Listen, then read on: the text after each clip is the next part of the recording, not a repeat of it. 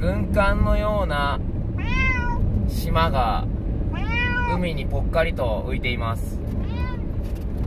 それを見に行きます。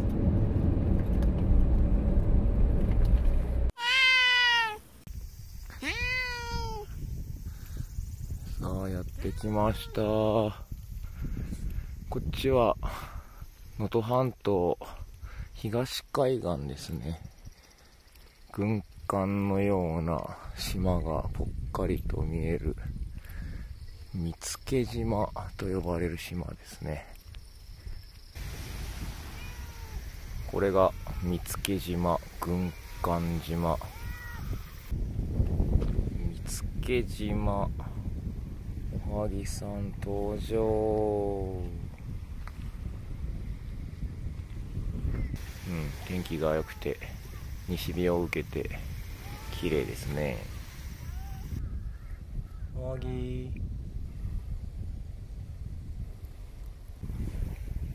今私のお腹の上なので変な構図になってますがおはぎさんとそして近くにワンコがワンコが来てて怒ってます。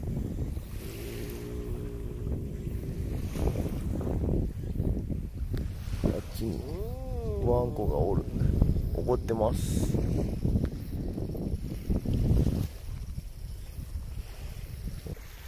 この見附島は潮が引くとあの島まで歩いて渡れるはずなんですよね。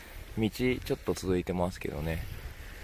潮が引いてるとあれが地続きになるというふうに聞いてます。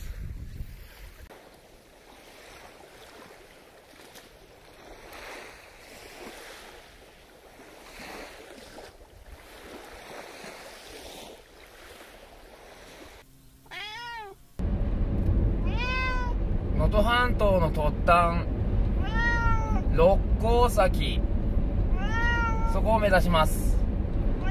ここは半島の突端なだけあって日の出も日の入りも見ることができる。そういうスポットです。天気がいいんでね見れると思いますよどっちもね。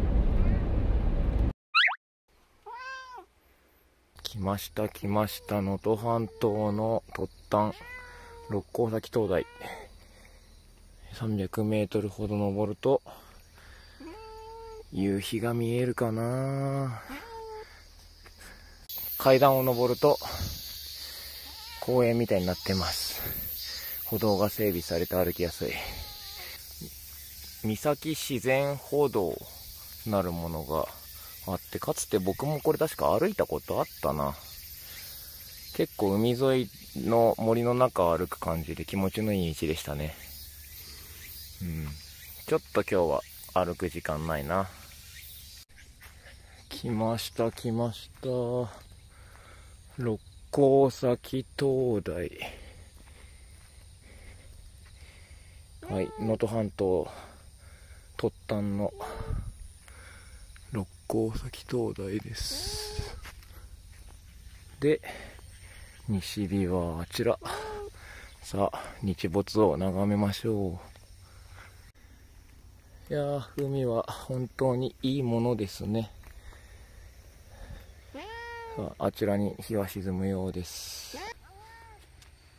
夕日とはぎはぎはぎさん。うん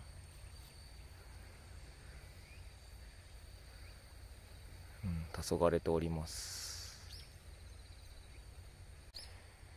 灯台があって海があってそして西日夕焼けそしておはぎ。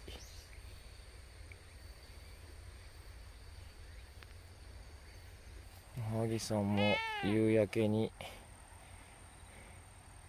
おはぎ？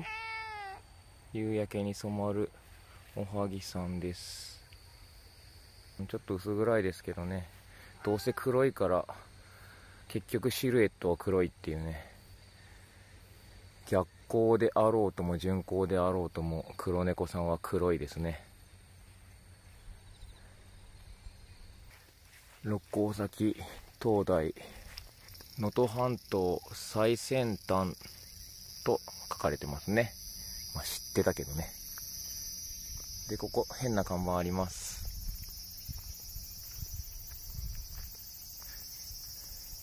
東京まで302キロ、上海1598キロ、プサン783キロ、反対向いてるこの矢印は、なんじゃい？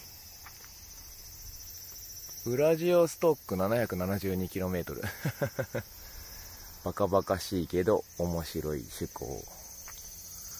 いやー天気が最高。いや太陽も赤く燃えております。太陽が赤く燃えて少し小さいですけどシルエットでおはぎさんがバリケードの上に座ってますね。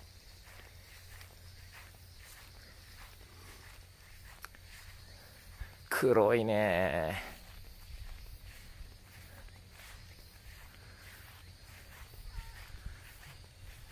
おはぎさんでした。何おはぎ？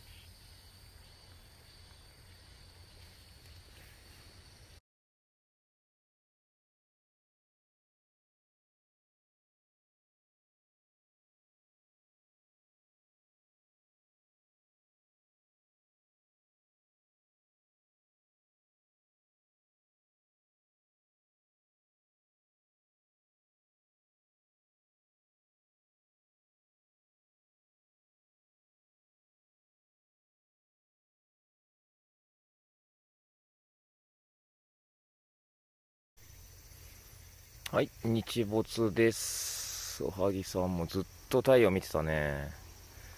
で、太陽なくなって次空に現れるのは、お月様。ちょうど半分くらい。半月なのかな半月。はい。お月様が綺麗です。今日は夜空も綺麗かもね。夜も楽しみ。港崎での日の入りでした。はい、おはぎさん、日の入り。日の入り。